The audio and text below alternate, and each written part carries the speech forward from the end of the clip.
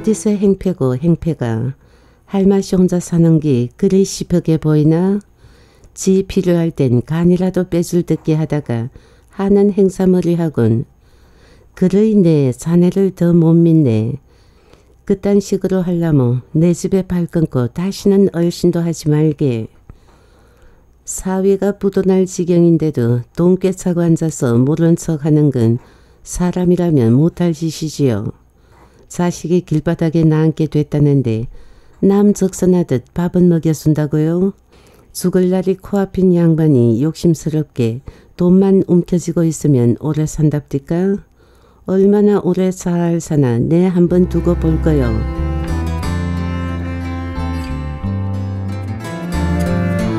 당신의 저녁 지연이 정인 아파트로 오르는 길목은 너러손 행상들과 귀가를 서두르는 사람들로 시장 바닥같이 어수선하다. 오징어 회나 만두, 과일 등 속의 먹을 거리를 파는 차량들이 인도를 따라 늘어서 있었지만 갑자기 추워진 탓인지 사람들의 발길은 그저 바빴다. 나는 노점상들의 좌판을 기웃거리다가 단감을 몇 개 사서 가방에 집어넣었다. 집을 났을 때 검푸른 이내에 덮이기 시작한 사위는 금방 어두워졌다. 어느새 가로등에는 어선푸레한 주황빛이 은은하게 빛나고 아파트 창문들에도 불빛이 하나둘씩 늘어나기 시작했다. 그래서인지 마음이 더 조급해진다. 남편이 곧 귀가할 것이고 내가 어머니께 간 것을 안다면 틀림없이 언짢아 할 것이다. 그래서 늦은 저녁에 나서는 것이 망설여졌지만 지난밤부터 아무리 해도 통화가 되지 않자 마침내 불안감이 그름처럼 마음을 뒤덮어버려 도저히 그냥 있을 수가 없었다. 깊은 물속에 잠긴 수몰지구처럼 잊고 있던 어머니를 떠올린 것은 참으로 오랜만이었다. 지난밤 텔레비전 저녁 뉴스에서는 사망에서 부패할 지경까지 아무도 찾는이 없었던 독거노인의 비참한 흔적을 보여주었다. 얼룩투성이의 구조분한 이불, 바바리 말라붙은 알루미늄 식기, 쥐오줌으로 얼룩진 벽지 등으로 얼씬연스럽게 짝이 없게 비좁은 그 방은 사람이 살던 곳인가 싶게 남루하고 비참해서 아 하는 짧은 비명이 저절로 터져나올 지경이었다. 시청자들에게 시청자들에게 노인의 죽음을 방조한 혐의를 묻는 의도가 분명한 잔인스런 화면 때문에 나는 사과를 한쪽 베어 물다가 슬그머니 내려놓고 말았다. 어머니가 떠오른 것과 아나운서가 격앙된 어조로 세상 인심의 야박함을 언급한 것은 거의 동시였다. 어머니는 평소 같지 않게 가슬가슬하고 강파리한 모습으로 뇌리에 스며들었다. 그동안 특별히 바쁠 거 없는 나날을 보내면서도 어머니를 생각한 적은 거의 없었다. 그전 같으면 일주일에 두세 번은 전화로 안부를 묻고 밑반찬을 갖다 드리기도 하고 어머니가 쉬는 날에는 쇼핑도 몇 번 같이 했을 것이다. 그러나 지난 석 달 동안 그 어느 것도 하지 않고 지나갔다는 것을 뉴스를 보면서 비로소 깨달았다. 나는 찬물을 뒤집어 쓴 듯 서늘해지며 벽에 걸린 달력을 쳐다보았다. 벌써 11월 소순 어머니를 마지막으로 본 것이 더위가 한창이던 7월이었으니까 3개월도 더 지난 셈이다. 이제 거리에는 제법 옷깃을 여미게 하는 찬바람이 메마른 낙엽을 쓸고 있다. 그렇게 계절이 바뀌었는데도 어머니를 까마득히 잊고 있었고 어머니 역시 전화 한 번 해오지 않았다. 잘 지내던 이웃이 이사를 가도 한동안 궁금하고 마음이 아린 법인데 피를 나눈 가족이 어쩌면 그렇게 잊어질 수 있었을까. 이미 다른 뉴스로 넘어간 화면을 초점 없이 바라보다가 그런 자각이 들자 길고 날카로운 칼끝이 스치고 지나간 듯 가슴이 쓰라렸다. 그긴 날들을 어머니는 어떻게 보내셨을까? 여전히 우리를 어루만지듯 콩나물 항아리들을 보살폈을까? 아니면 끊어진 연락만큼의 섭섭함을 키우며 앓거나 한 것은 아닌지 한번 생각이 떠오르자 그동안 어떻게 잊고 있었나 싶게 어머니에 대한 염려가 부피를 더해갔다. 나는 점점 마음을 비집고 드는 불길한 생각에 오금이 서려 무릎을 가만히 감싸안고 얼굴을 파묻었다. 지금도 알 수 없는 것은 당시의 어머니의 태도였다.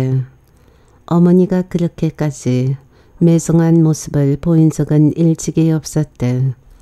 그때 우리는 지푸라기라도 잡아야 할 만큼 다급한 형편이었다. 어머니 역시 그것을 모르지 않았는데 어쩌자고 그토록 야멸차고 무섭게 굴었던 것일까. 그런 뒤숭숭한 생각을 붙들고 한참을 망설이다가 지난 수개월 동안의 앙금을 씻어낼 작정으로 전화를 걸었던 것인데 오늘 오후까지도 통화는 이루어지지 않았다. 그러자 머릿속을 맴도는 온갖 상념들이 불길한 쪽으로만 치달아 도무지 일이 손에 잡히지 않았고 끝내는 가만히 있을 수가 없어 부랴부랴 집을 나선 것이다. 얕은 언덕배기에 바람에 짓눌린 듯 나부죽이 엎드려 있는 낡은 아파트 단지는 내려앉은 어둠에 쌓여 더욱 얼신연스럽다. 나는 걷다 말고 우두커니 서서 어둠이 깊어질수록 더욱 밝아지는 창문들의 불빛을 바라보았다. 아침 햇살 속으로 뿔뿔이 흩어졌던 가족들이 돌아오는 시간에 등불처럼 점점이 떠있는 불빛을 보자 그동안 외롭고 초라했을 어머니의 식탁이 떠올랐다. 이따금 한두 가지씩 만들어다 드리는 반찬이나 팔다 남은 콩나물로 국을 만들어 김치와 곁들이던 어머니의 조촐한 식탁. 무엇이든 아끼는 게 미덕인 어머니는 아버지가 돌아가신 후부터 당신을 위해서는 뭘 준비한 적이 없었대. 그래서 반찬을 만들 때마다 어머니 것을 따로 들어 갖다 드리곤 했는데 지난 여름 이후 한 번도 들여다보지 않았으니 어머니의 식탁은 조촐하다 못해 처량했을지도 모를 일이다. 어둑신한 불빛 아래서 쓸쓸하게 되풀이되는 어머니의 허전한 손놀림이 서운하게 떠올리며 마음이 알아래졌대. 어머니의 집으로 들어서는 현관은 촉수낮은 전등 때문에 어둠침침하고 지린내마저 풍겼대. 복도에 오줌을 싸대는 아이는 삼성 아이인데 아이의 엄마는 일을 다니느라 늘 집에 없었대. 어머니는 혼자 있는 아이를 불쌍하게 여겨 가끔 챙기면서 냄새나는 복도를 도맡아 닦아내곤 했다. 그래서인가 물씬한 지린내와 함께 불안감이 더욱 나를 세웠다. 나는 계단을 재빨리 밟고 올라가 녹이 드문드문 슬어있는 문 앞에 섰다. 문에는 맑고 향기롭게라는 글귀가 새겨진 영국 그림의 스티커가 단성하게 붙어 있었다. 그것은 정식이가 대학에 입학한 후 행정고시 시험 준비를 시작할 때 어머니가 붙인 것이었다. 정식이가 첫 시험에 합격한 것은 본인의 노력도 노력이지만 어머니의 정성 어린 기도도 단단히 한몫했을 것이다. 간절한 염원에서 나오는 파장은 좋은 쪽으로 움직이게 마련이니까. 어머니는 정식이가 시험 준비를 시작한 날부터 합격하는 날까지 하루도 빠짐없이 108배를 하셨대. 관절염 때문에 입술을 깨물어 가면서도 새벽마다 새 양초에 불을 밝히고 옷에 두지 않은 모습은 오로지 아들을 위한 헌신이었대. 그 이후부터 이따금 절름거릴 정도로 관절염이 심해졌으나 어머니는 죽으면 썩을 몸, 좀 아픈 게 대수냐며 나의 염려를 일축해 버리고 냈다. 가슴에 차오르는 한숨을 속으로 삼키며 배를 눌렸다. 또랑또랑한 벨 소리가 한참 울렸지만 안에서는 아무런 인기척이 없었다. 다시 배를 누르며 어머니를 불려도 보았지만 내 목소리는 차가운 철문에 튕겨 고스란히 귀 속으로 되돌아올 뿐이었다. 문득 목줄기가 뻣뻣해지며 콧등이 시큰해졌다. 열쇠를 가지고 마음대로 드나들던 문 앞에서 어머니를 애타게 부르고 있는 내가 한없이 서글펐다. 모두들 식탁에 모여 앉아 도랑거릴 시간에 어머니는 대체 어떻게 된 걸까? 무덤 속 같은 어둠에 몸을 맡기고 초저녁 잠이 들기라도 했단 말인가? 아니면 멀리 외출이라도 하신 걸까? 가장 가까이 있으면서도 이제는 어머니에 대해 아무것도 아는 게 없는 나는 자신을 힐난하듯 더욱 목청을 높였다. 어머니를 부르는 목소리가 너무 컸던가. 앞집 문이 열리며 몇 번 마주친 적이 있는 여자가 고개를 내밀었다. 순간 나라는 것을 알아본 여자의 얼굴에 가늠할 수 없는 의혹의 표정이 떠올랐다. 아니 어쩐 일이세요? 앞치마에 손을 문지르며 내 앞으로 다가선 여자에게선 마늘 냄새가 희미하게 풍겼다. 나는 열리지 않는 문의 손잡이를 공연히 비틀며 겸연쩍게 웃어 보였다. 어제부터 전화를 해도 안 받으시길래 와보았는데 안 계신가 봐요. 혹시 어디 가셨는지 아세요? 여자가 놀란 듯 미심쩍 않은 눈길로 나를 깊이 응시했다. 할머니 그댁에 계신 거 아니에요? 안 보이신 지가 한 달이나 되지 싶은데 난 예사롭게 그댁에 계신 줄 알았어요. 뜻밖의 대답에 마음을 짓누르던 불안감이 부풀어 오르기 시작했다. 내가 휘청 몸의 중심을 잃고 벽에 기대자 여자가 얼른 내 팔을 붙들었다. 그렇게 자주 드나들다가 도통 안 보여서 당연히 할머니를 모시고 간 줄 알았어요. 좀 아프다고 그러셨거든요. 여자는 무슨 영문인지 알고 싶은 호기심이 가득 찬 눈으로 나를 찬찬히 살펴보았다. 나는 두 눈을 감아버렸다. 도저히 그 눈을 마주 볼 수가 없었다. 도대체 그동안 무슨 일이 생기기라도 한 걸까? 설마 저 안에 텔레비전에서 보았던 화면의 한가운데 벼랑간 어머니의 초췌한 모습이 뛰어들었다. 소스라쳐 눈을 떴다. 여자가 난감해하는 낯빛으로 나를 물끄러미 보고 있었다. 나는 마구 죄어드는 가슴을 손으로 지그시 누르며 몸을 고추 세웠다. 그러고 보니 동생 집에 다니러 가셨는지도 모르겠네요. 정식에게는 갈 리가 없다는 걸 알면서도 나의 목소리에는 짐짓 힘이 실렸다. 나는 의혹에 찬 여자의 눈길을 뒤로 한 채 도망치듯 그곳을 빠져나왔다. 언덕배기를 내려오는 발걸음이 허방을 짚는 듯 했다. 자꾸만 휘청거리는 걸음을 겨우 다잡으며 어둠 속에서 어머니의 불 꺼진 창을 올려다 보았다.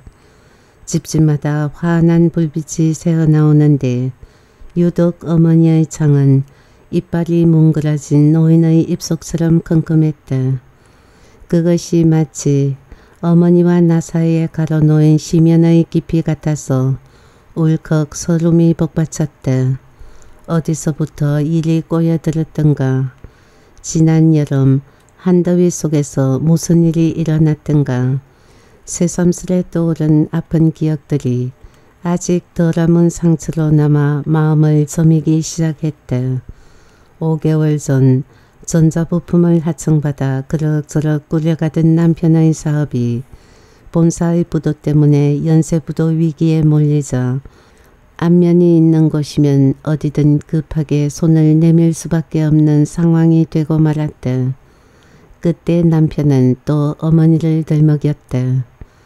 그러나 정식의 눈치도 보이고 어머니에게도 얼마 되지 않은 그것이 좋은 재산이라는 걸 아는 터라 나로서는 차마 말을 꺼낼 수가 없었다. 처음 사업을 시작할 때 빌린 돈도 다못 갖고 있는 처지에 또 돈 얘기를 꺼내는 게 염치 없기도 했지만 무엇보다도 신뢰할 수 없는 사위의 지나친 사업 확장을 불안하게 바라보던 어머니가 쉽사리 빌려줄 것 같지 않았다. 그러나 발등에 불이 떨어진 그는 달리 방법이 없다며 나를 득달같이 졸랐다. 나 역시 다른 대안이 없었으므로 한편으론 어머니가 딸의 어려운 처지를 헤아리는 게 당연하다는 생각이 들기도 했다. 그래서 어렵사리 찾아갔는데 예상외로 어머니의 단호함은 소리빨 같았다. 그돈 밀어 넣는다고 꼭 회생한다는 보장이 있는 것도 알 낀데 너그는 처음 사업 시작하면서 가져간 돈도 아직 못 돌리수고 있다 아이가. 나도 쫓게이라도 더 모아서 노후의 편을 낳고 시장 바닥에서 콩나물 팔고 앉았는 기지.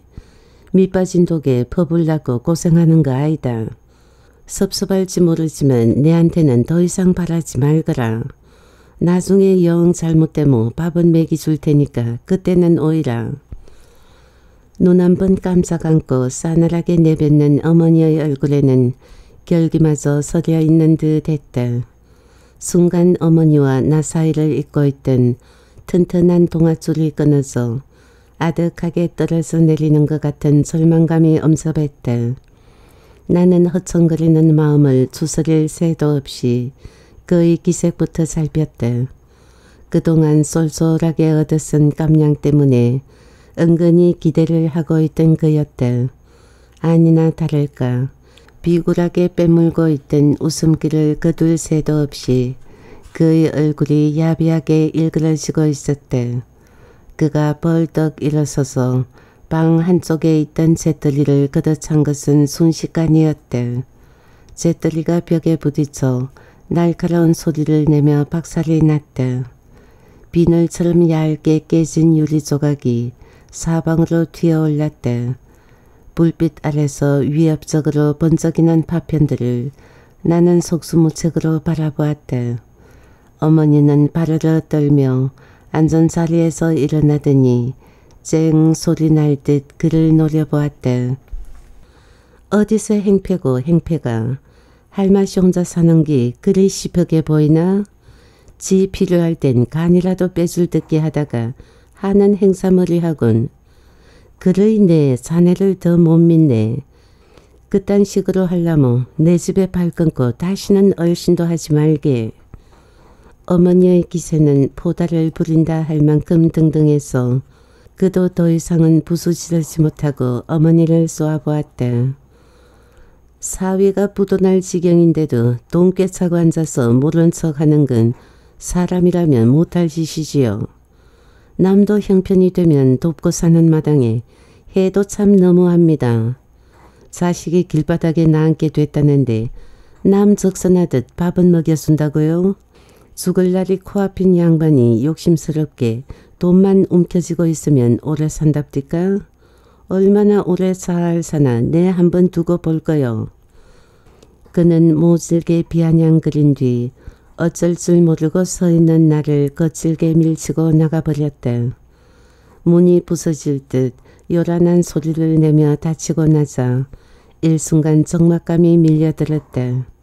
방 한구석에서 힘겹게 돌아가던 낡은 선풍기의 모터 소리가 더욱 크게 찌그러거렸대. 어머니는 한숨을 내뱉으며 무너지듯 방바닥에 주저앉아 더듬더듬 담배를 찾아 불을 붙였대. 어머니의 이마에는 땀에 젖은 흰 머리카락 몇 올이 실핏줄처럼 엉켜 있었대. 나는 더위를 먹은 것처럼 얕은 숨을 핥아기며 가눌 수 없이 떨리는 어머니의 손을 무력하게 바라보았대. 내 입장을 조금이라도 헤아렸다면 두 사람 다 그렇게 막 나가지는 않아야 했대. 나는 철침이 촘촘히 박힌 철판이 사방에서 조여드는 듯한 위기감 속에서 벽을 등지고 주저앉았다. 허공에 흩어지는 담배 연기를 멍하니 바라보던 어머니가 겨우 마음을 가라앉혔는지 구석에 맥없이 쪼그리고 앉은 나를 돌아보며 꺼질 듯한 목소리로 말했대. 어서 따라가 보아라. 다른 데 가서 또 저 썬깔 부리며 우얄 끼고 서운할지 모르지만 되도 안 할 일에 미련 부리는 것은 어리석은 기다. 저 위는 그릇에 비해 너무 큰 욕심을 부리는 기 병이다. 더 이상 여러 말 안 하고 싶다. 마 가거라. 여전히 냉랭한 말투에 나는 그만 주체할 수 없는 반발심에 휘둘리고 말았다. 그나마 든든하게 여기고 있던 어머니의 잔인한 외면이 우리를 벼랑으로 내몰고 있는 것 같았다. 어머니가 조금만 도와주면 가능성이 있을 것을 쓰러지면 그건 다 어머니 탓이라고 생각이 비약했다. 엄마는 꼭 우리가 망하길 바라는 사람 같네요. 고비만 넘기면 될 것 같으니까 그러는 건데 그이가 꼭 엄마 돈 알겨내려고 그런 것 같지 말을 왜 그렇게 하세요? 정식이가 사성했으면 이러진 않았겠죠? 자식이 죽게 되면 일단 살려놓고 보는 게 부모된 도리 아니에요? 어머니의 손가락 끝에서 타담한 담배꽁초가 시름없이 떨어졌대. 나는 끈적이며 들려붙는 더위를 밀쳐내듯 자리를 박차고 일어났다. 나를 바라보는 어머니의 눈길이 부옇게 흐려지고 있었다. 나는 뭐라고 웅얼거리는 어머니를 뒤에 남겨둔 채 그대로 뛰쳐나오고 말았다. 그 며칠 후 정식에게서 전화를 받지 않았다면 그렇게까지 어머니를 모른 척 하지 않았을지도 모르겠다. 그저 한 번쯤 스쳐가는 매서운 바람으로 여길 수도 있었을 테니까. 정식이 전화를 걸어온 것은 사태를 수습하느라 정신이 없는 와중이었다. 정식은 위로는커녕 다짜고짜 우리가 어머니 마음에 상처를 입혔다고 책망부터 하면서 어머니가 가신 돈은 적어나마 자기 몫이니 더 이상 넘보지 말라고 잘라 말했다. 그 말투에는 우리를 어머니 돈이나 눈독 들이고 있는 파렴치 안으로 내모는 경계심이 역력했대. 너 웃기는구나. 어떻게 나한테 그런 말을 할 수가 있어? 이젠 여자도 똑같이 받을 자격이 있다고. 뭐? 내 몫은 다 갖다 쓴 거나 마찬가지라고? 야, 엄마한테 돈이나 많았으면 칼부림 나겠다. 그래, 너 혼자 잘 먹고 엄마 잘 모셔보아라. 난 이제 그 집하고는 인연 끊을 테니까 엄마한테 꼭 전해라. 그것이 세상에 울음을 터뜨리고 나와 25년을 한 울타리에 살아온 가족과 멀어지게 된 이유였다.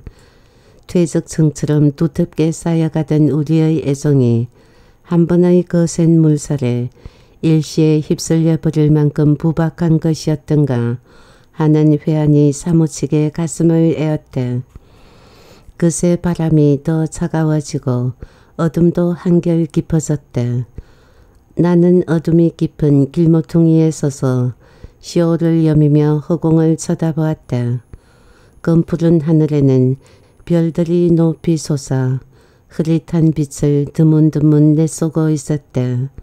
도시의 휘황한 불빛에 가려 더욱 흐려진 별빛은 성냥 끝에 남아있는 불씨처럼 안쓰러웠다. 그 끝에 어머니가 기운 없이 떠올랐다. 고통이 너무 커서였을까. 어머니를 잊자고 생각한 뒤로는 대번에 무관심해질 수 있었고 어머니를 챙기는 것 또한 정식의 몫이라는 생각이 조개껍질처럼 단단해졌다. 어머니가 우리를 도우려는 마음이 없다는 것을 알고부터 미련 없이 마음의 자물쇠를 단단히 채운 셈이었다. 벌이 꽃의 아름다움보다 단물에 꿰듯 나 역시 그런 계산만 하고 있었던 것이다.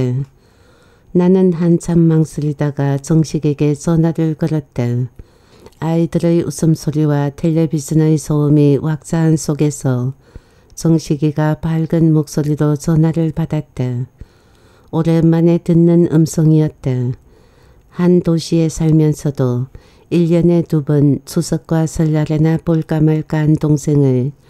그나마 목소리라도 잊지 않는 게 다행이었다. 웬일이야? 그동안 잘 지냈어? 내 목소리를 알아들은 정식은 시큰둥하게 안부를 물어왔다. 여름의 그 일 이후 서로의 감정이 제자리에 가려면 시간이 좀 더 필요한 모양이었다. 너 언제 어머니 배웠어? 요 근래 한 번 들렀니? 아, 아니, 다녀온 지 한 두어 달 되었나? 왜, 무슨 일 생겼어? 다리에 힘이 쑥 빠지며 어딘가에 주저앉고 싶었다. 나는 연신 들려붙는 불길함을 애써 밀어내며 조근조근 상황을 설명했다. 이야기를 다 듣고 난 정식은 대수롭잖은 듯 냉정하게 말했다. 어머니 어디 갈 데 없는 사람이니까 걱정하지 마. 정 불안하면 지금이라도 그 동네 반장이나 통장에게 물어봐. 그 사람들은 아무래도 주민들 정보에 다른 사람보다는 빠르지 않겠소? 너무 걱정하지 말고 일단 그렇게 알아봐. 전화를 끊고 우두커니 서 있는데 승용차의 전조등이 앙상한 나뭇가지 사이를 훑듯이 스쳐갔다. 어디선가 싸우는 소리가 바람 소리에 섞여 간간히 들려왔다. 나는 얄미울 만큼 차분한 정식의 태도가 못마땅해 다시 전화를 걸어 한마디 해주고 싶은 걸 겨우 참았다. 어머니의 행방을 알아내는 게 우선이니까 전화 부서의 문을 열고 나오는데 눈물이 질끔 솟았다. 정식의 말대로 아파트의 반장은 어머니의 행적을 알고 있었다. 반장의 말에 의하면 어머니는 한 달 전에 집을 팔았고 고향에 신축된 어느 양용원으로 가신다 하더라고 했다. 어머니의 고향이라면 부산 근교에 있는 양산이었다. 전에도 어머니는 이따금 서울 생활이 싫다고 고향에 가서 살고 싶다는 말을 하곤 했다. 하지만 노구를 이끌고 몸소 양로원으로 가시다니 그것이 어떻게 어머니가 바라던 귀양처일 수가 있으랴. 나는 가슴이 먹먹해서 아무 대꾸도 못한 채 그녀의 오종종한 얼굴을 물끄러미 바라보았다. 애기 아빠가 부동산 중개업을 하니까 매매 계약이며 잔금 받는 거며 대신해 드렸는데 한동안 몹시 알으셨던가 봐요. 혼자 있다가는 죽어서 썩어도 아무도 모르겠더란 말씀을 하시더래요. 콩나물 키우는 일도 전만큼 재미없다 하시며 다 같은 노인들 사는 데 가서 조용하게 살고 싶다 그러셨대요. 얘기를 듣는 동안 나는 차마 그녀를 똑바로 볼 수가 없어 벽에 갈겨진 자잘한 낙서들을 할일 없이 더듬었다. 그녀는 혹시라도 연락할 일이 있을까 싶어 적어 놓았다며 어머니가 계신 곳의 주소와 전화번호를 끝내주었다.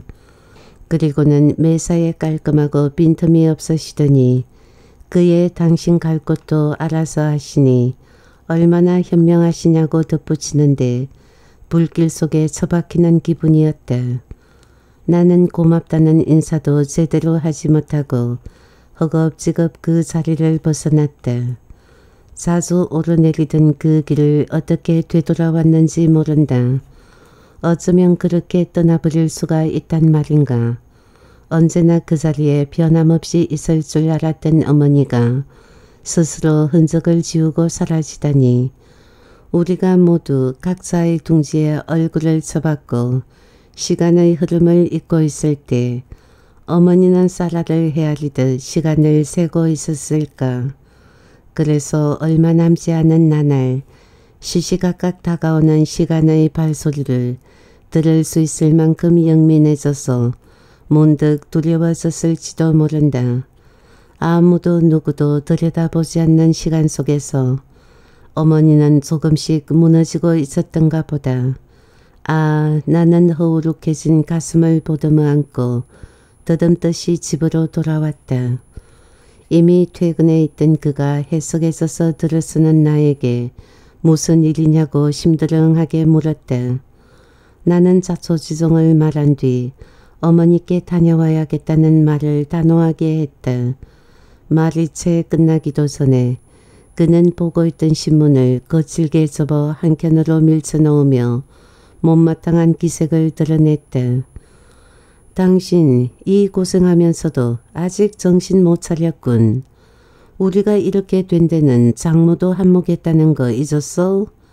자식이 죽게 생겼는데 그렇게 매정하게 구는 어미가 세상에 어딨겠어? 근데 자기 살겠다고 딸도 내몰라라 하는 사람이 바로 당신 엄마야. 난 정남이 다 떨어졌어. 더 이상 내 앞에서 그 얘긴 꺼내지도 마. 어머니에 대한 그의 정오심은 터무니없는 것이었다. 열 개를 받아 먹다가 한 개 못 먹었다고 하나도 못 먹었다 하는 꼴이었다. 어머니는 처음부터 그를 못 믿어했다.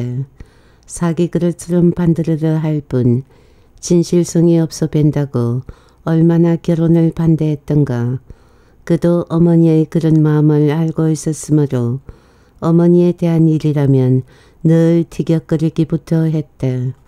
그나마 어머니 수중에 돈이 소음 있으니 어떻게든 그것을 유용해 보겠다고 머리를 굴렸을 뿐이다. 어머니는 그런 줄 뻔히 알면서도 첫 사업 자금을 순순히 내주었다. 동업으로 시작한 것이라 얼마 투자하지 않아도 되었다곤 해도 어머니로선 큰 액수였다. 그런 도움을 받고도 결국 어머니에게 원망을 품는 그는 나의 또 다른 모습은 아닌지 나는 어머니가 홀로 그 먼 길을 간 것이 오로지 그의 책임인 양 거세게 몰아붙였다. 그래도 우리가 엄마 덕 안 보았다고는 못하죠. 당신 사업 시작할 수 있었던 것도 엄마 덕이었지 누가 도와주었어요? 그래서 한때 돈도 좀 만졌잖아요. 우리가 이렇게 된 건 우리 잘못이지 엄마 잘못이 아니라고요. 어머니도 자꾸 밀어넣다간 다 죽겠다 싶으니 그러셨지. 될 만하면 왜 안 주셨겠어요? 아무리 그렇다고 바로 지척에 살면서 우리가 엄마 행방도 모른 건 말이 안 되죠. 얼씨구 이 여편네가 지금 누구 역성을 들고 있어?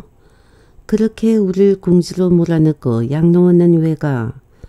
그 돈 우리 주면 우리가 그만큼은 모셨을 거 아니야. 요즘 양로원이란 데가 1, 2천 가지고 되는 줄 알아?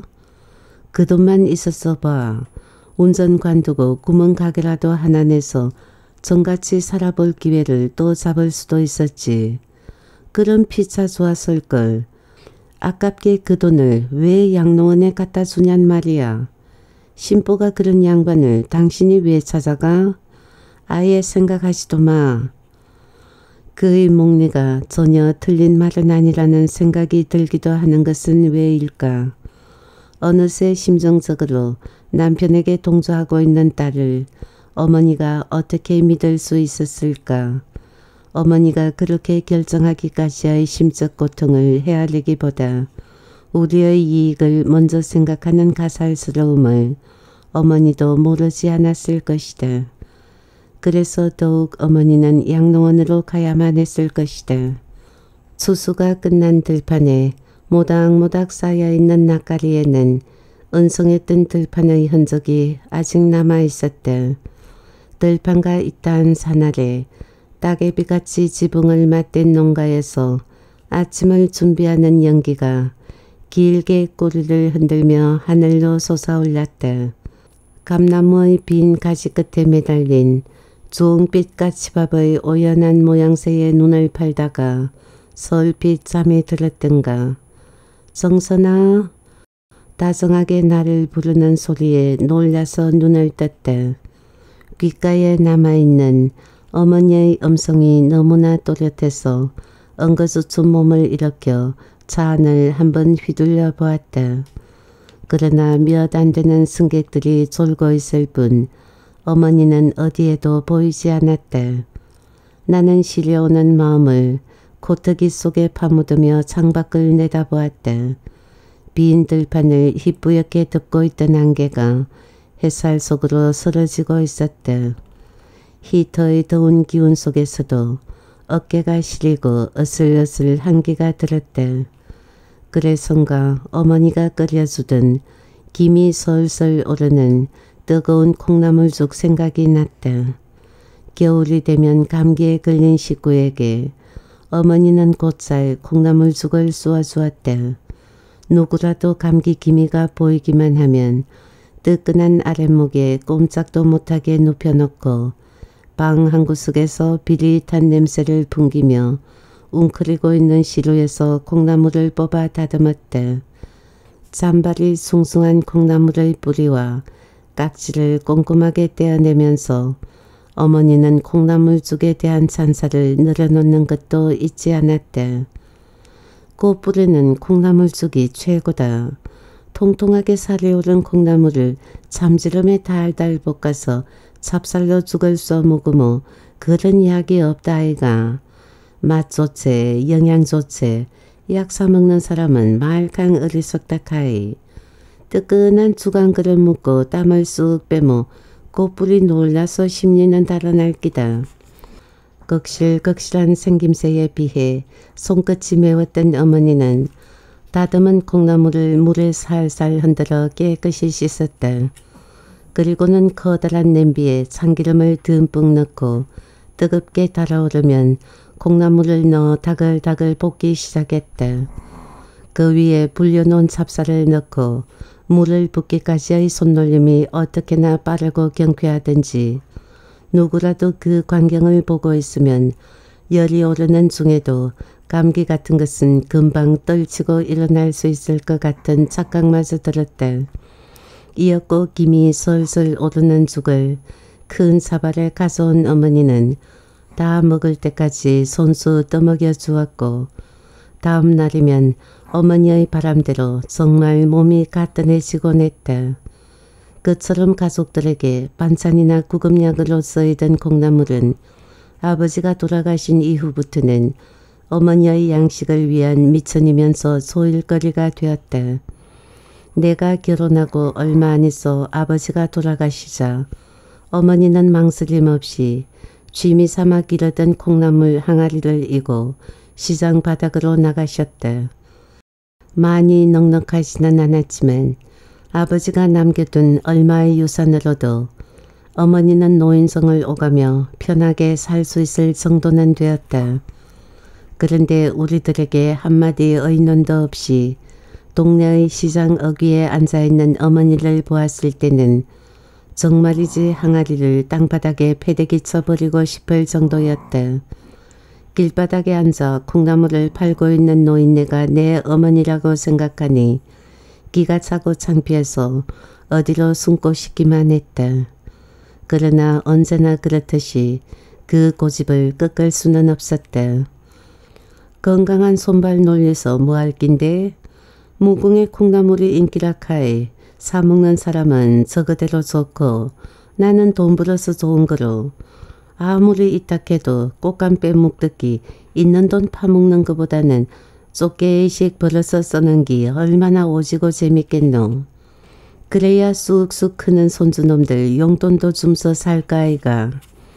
그렇게 딱 자란 뒤로는 아무리 말해도 듣지 않았고 결국 어머니의 늙음악 직업이 될 정도로 콩나물 마시는 할머니로 소문이 났다. 그렇게 성실하고 악착같이 모은 돈이 처음에는 푼돈 정도다가 차츰 가진 돈의 액수를 늘리는 데 보탬이 될 정도였다. 차라리 어머니의 수중에 한 푼도 없었다면 지금 겪고 있는 이 괴로움이 없었을까. 이렇게 먼 길을 어머니를 찾아 나서지 않아도 되었을까. 마음이 조며오는 회한 속에서 뿌옇게 김이 서린 창을 닦아내고 밖을 내다보았다. 평야지대가 끝나는가 싶더니 버스는 어느새 톨게이트로 들어서고 있었다. 마음이 서서히 옥죄어 들기 시작했다. 어머니가 스스로 몸을 부린 곳은 내게는 익숙하지 않은 땅이었다. 방학이면 우리를 기다리던 외할머니가 계신 곳이기는 했다. 그러나 외할머니가 돌아가신 후로는 한 번도 와본 적이 없었다. 이제는 땅속에 누운 할머니도 백골이 되었을 이 땅에 어째서 어머니는 초라한 모습으로 돌아오고 싶었을까? 그곳이 진정 당신이 바라던 쉼터였을까? 아니면 더 이상 물러설 곳이 없는 막막한 심정으로 어쩔 수 없이 선택한 길이었을까? 그러나 이미 어머니에게서 너무나 멀어져 버린 내가 어머니에 대해 짐작할 수 있는 것은 아무것도 없었다. 버스 정류소에 도착하자마자 그에게 전화부터 걸었다. 눈을 뜨자마자 마주친 나의 빈자리에 성이 나서 시건거릴 그가 줄곧 마음에 걸렸다. 비번인 탓에 그는 하루 종일 화를 사귀며 시간을 죽여야 할 것이다. 한참 벨이 울린 뒤 전화를 받은 그의 목소리는 벌써 날이 서 있었다. 나는 하루를 지체하게 되리라고 담담하게 말했다. 엄마 만나게 되면 오늘은 여기서 자고 내일 올라갈게요. 내일 아니라 영영 안 와도 좋아. 갈 때는 마음대로 갔지만 올 때는 뜻대로 안 될걸. 그렇게 가지 말라 했는데도 기어이 갔을 땐 그만한 각오는 했겠지. 아이들의 소식은 물어볼 새도 없이 목숨끝 화를 돋은 그는 전화를 끊어버렸다. 나는 막막한 심정으로 사람들이 몰려나가는 출구를 따라 걸었다. 오늘 중으로 어머니를 찾아야만 했다. 점점 쇠약해지는 어머니와 우리 사이에 그렇게 많은 시간이 있지는 않을 것이다. 그런 생각이 줄곧 머릿속을 떠나지 않아서 서울을 출발하기 직전 망설임 끝에 정식에게 전화를 했었다. 혹시 어머니를 다시 서울로 모실 만한 구실을 찾을 수 있을까 싶기도 했고 어머니에 대한 정식의 무관심이 언젠가는 그 아이에게 마음의 빚으로 남지 않을까 해서였다. 그러나 정식은 잠이 들깬 음성으로 어머니가 원한다면 그대로 두라고 짧게 대꾸한 뒤 전화를 끊어버렸다. 정식에게 어머니가 나까지 포함하여 쓸모없는 가구와 같은 존재가 되어버린 것은 제법 오래된 일이다. 정식이가 처음 응시한 행정고시에 합격하자마자 마치 플래카드를 내걸기라도 한 것처럼 뚜쟁이들의 중매가 밀려들었다. 우리로선 참 이해할 수 없는 일이었다. 한간에 그런 일들이 있다고는 해도 정식에게 그런 일이 생기리라곤 생각해 본 적이 없는 일이었다. 정식이가 시장 바닥의 장사꾼 어머니를 노골적으로 부끄러워하기 시작한 것은 그때부터였다. 그러잖아도 정식은 어릴 적부터 자신의 구력이 너무 평범한 것을 못 견디게 싫어했다. 정식이 고시에 그렇게 열심히 매달릴 수 있었던 것도 아마 그것을 벗어나고 싶었기 때문일 것이다. 여자나 남자나 자신보다 나은 사람을 선택함으로써 덤으로 얻게 되는 신분의 상승, 정식은 그것을 꿈꾸었고 이런 나이에 행정고시를 통과한 똑똑한 사회를 필요로 했던 어느 중견기업 사장의 눈에 들었다. 딱 한 번 양가의 만남 뒤에 진행된 결혼의 준비 과정은 신부 측에 의해 치밀하게 이루어졌다. 신경 쓸 거 없다던 정식의 말처럼 우리는 아무 할 일이 없었다. 결혼식이 가까워져 신부 측에서 보내오는 혼수들은 어머니나 내가 그때까지 구경해 본 적이 없는 고가의 물품들이었다. 그러나 진작부터 정식의 독단적이고 분수에 넘치는 결정을 아슬아슬한 마음으로 지켜보던 어머니는 그것을 고스란히 되돌려 보냈다. 이왕 들어온 것인데 그냥 받아두어서 나쁠 게 뭐 있느냐고 아무리 역성을 들어도 어머니는 용납하려 들지 않았다. 분수에 넘치는 것이라 어머니로선 받을 주제가 안 된다는 게 이유였다. 시장 바닥에서 장사하는 할머니가 입고 갈 데가 어디 있다고 트롯을 받아둘 거며 덮을 일도 없는 이불이랑 차고 다닐 일도 없는 보석을 받아둔단 말이고 정식이가 지금 장가가는 기지 팔리 가는 기가 그걸 받으모 내 아들을 그런 거 하고 바꾸는 것 같아서 딱 싫다. 싫단 말이다. 그런 올고듬 속에서도 어머니는 묵묵하게 일이 되어가는 모양을 지켜볼 뿐이었다. 아들이 원하는 길이라면 봐줄 수밖에 없다는 듯한 태도였다. 결혼식도 올리기 전에 정식은 이미 그쪽 사람이 다 된 듯 외박을 일삼았으나 어머니는 아무런 내색도 않고 여전히 시장을 드나들며 콩나물을 팔았다. 마침내 결혼식장에서 마주친 정식과 신부는 세상에서 가장 아름다운 한상이 되는데 손색 없는 치장을 하고 있었다.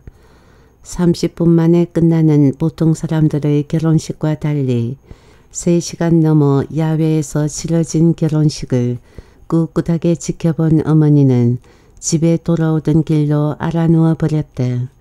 모두들 부러워할 만한 결혼식이었지만 어머니는 무언가 송두리째 빠져나가고 껍질만 남은 것 같다는 말씀을 하신 뒤 보름 동안 신음을 삼키며 누워 있었다.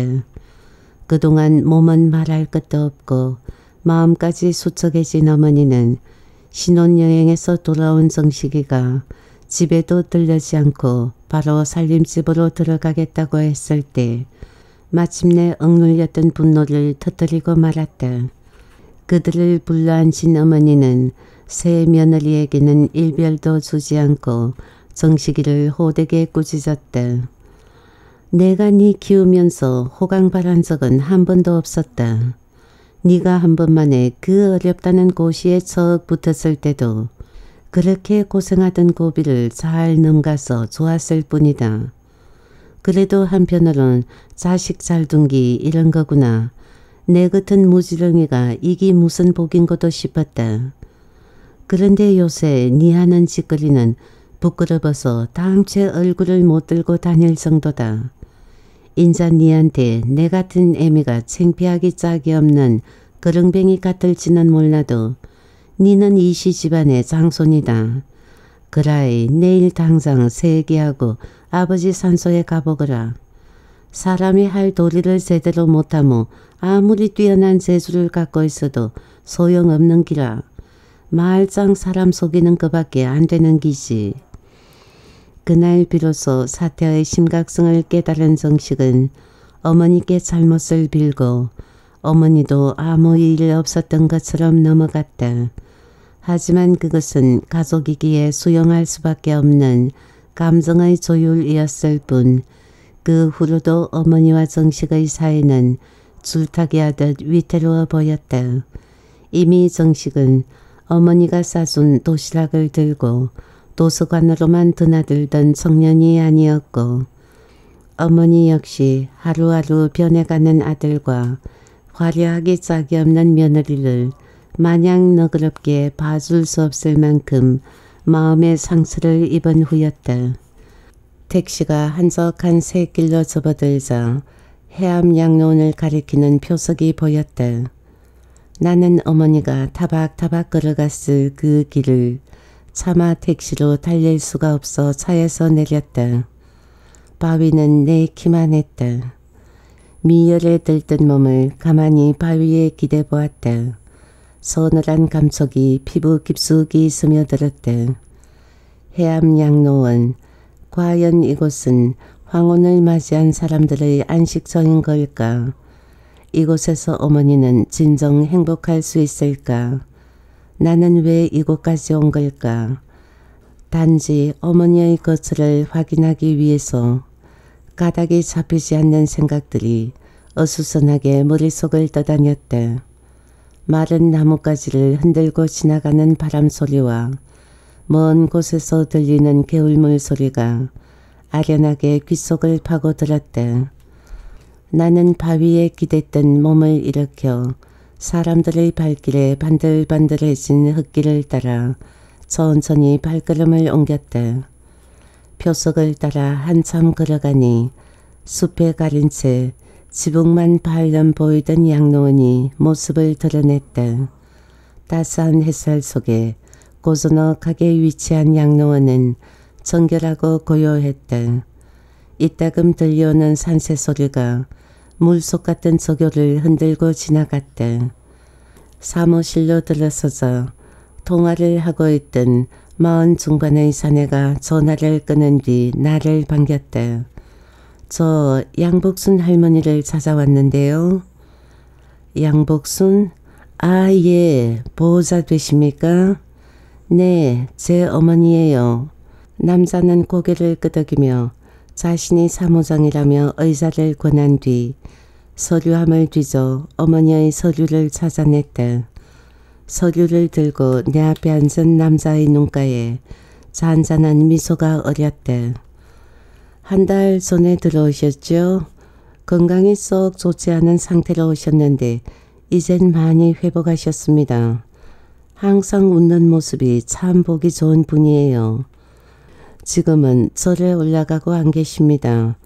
요 가까이에 아주 좋은 절이 있거든요. 어떻게나 부지런하신지 오신 이후로 가만히 계신 걸 못 보았어요.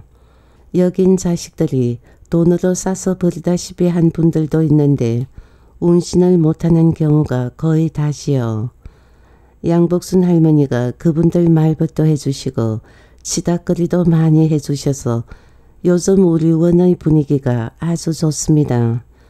기도를 하도 열심히 하시길래 여쭈어 보았더니 애미가 자식 위한 기도 말고 뭐가 있겠냐고 퉁을 주시더라고요. 어머니에 대한 사무장의 얘기는 끝이 없었대. 마치 자기 어머니의 자랑이라도 늘어놓는 듯 유쾌하고 거침이 없었대. 나는 어머니를 찬탄하는 그의 얼굴을 물끄러미 바라보며 어머니를 생각했대. 그런 분이었기에 마음의 상처가 더욱 깊지 않았을까. 그러면서도 한마디 말이 없이 떠나야만 했던 그 심정이 짚혀 목이 메었대. 창밖을 내다보았대. 사무실과 좀 떨어져 있는 본관 건물의 유리창 너머로 노인들의 한포국한 모습이 얼비쳤대. 마침 창문 곁에 서서 밖을 내다보고 있던 노인과 눈길이 마주쳤대. 노인은 흐릿하고 몽롱한 시선으로 나를 응시하다가 희미하게 웃어 보이곤 안으로 살았었대. 쌀쌀한 탓인지 마당에는 아무도 없고 상그늘만 깊숙이 드리워져 있었대. 마른 나뭇가지에서 떨어져 내린 잎새들이 바람에 몰려다니며 마당을 어지럽혔대. 하염없이 창밖을 내다보는 나를 잡아당기듯 사무장이 노르스름하게 우러난 녹차를 따라 내 앞으로 당겨놓으며 물었대. 성함이 이성선 씨 맞지요? 나는 그를 바라보았대. 사무장이 나의 이름을 기억하는 것은 뜻밖이었대. 보증금 수혜서가 이성선 씨로 되어 있습니다. 우리 양로원은 일단 보증금을 예치해 두고 매달 관리비를 받도록 되어 있지요. 노인들은 언제 불의의 일이 생길지 모르니까 들어올 때 미리 그런 걸 다 작성합니다. 그런 게 없을 경우엔 가족들끼리 다투는 꼴불견이 들어 생기거든요. 나는 들었던 녹차산을 내려놓고 말았대. 땅속으로 꺼지는 것 같은 아득함이 몸을 밀고 들어왔대. 소파에 몸을 파묻으며 눈을 감았대. 까칠한 어머니의 얼굴이 떠올랐대. 어머니는 언제나 깊은 바다 같았대. 나는 끝끝내 그 깊이를 알 수 없을 것이다. 열이 올라 자꾸 까부러지는 몸을 겨우 일으켜 밖으로 나왔대. 서쪽 하늘이 흐느끼는 여자의 눈언저리처럼 서서히 붉어지고 있었대. 나는 오솔길이 내려다 보이는 둔덕에 서서 물길처럼 구불거리는 길을 망연히 내려다 보았대. 자꾸만 눈앞이 흐려지는데 어디선가 산가치가 안타깝게 울어대고 있었대. 이었고 한 노인이 저물어 가는 해를 안고 걸어오는 게 보였대. 나는 벅차오르는 가슴을 감싸안고 시선을 끌어모았대. 불그레한 노을빛에 감싸여 빗무더기 같은 몸을 끌며 오고 있는 사람은 어머니였대. 한평생 지고 있던 무게를 어디다 부려놓고 오는 것인지 어머니의 발걸음은 날아갈 듯 가벼워 보였다.